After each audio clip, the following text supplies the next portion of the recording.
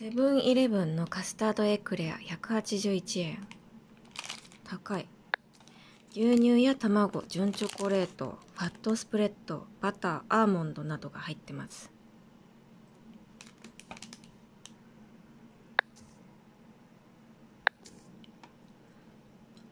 これ中は空洞がすごい。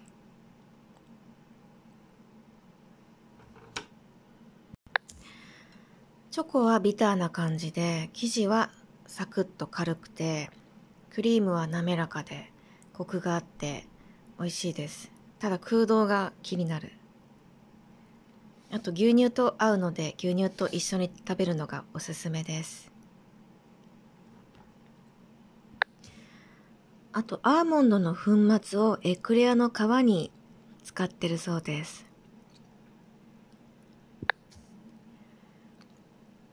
あと生地の小麦粉は全部国産小麦を使ってるそうです。あとクリームがすごく柔らかいです。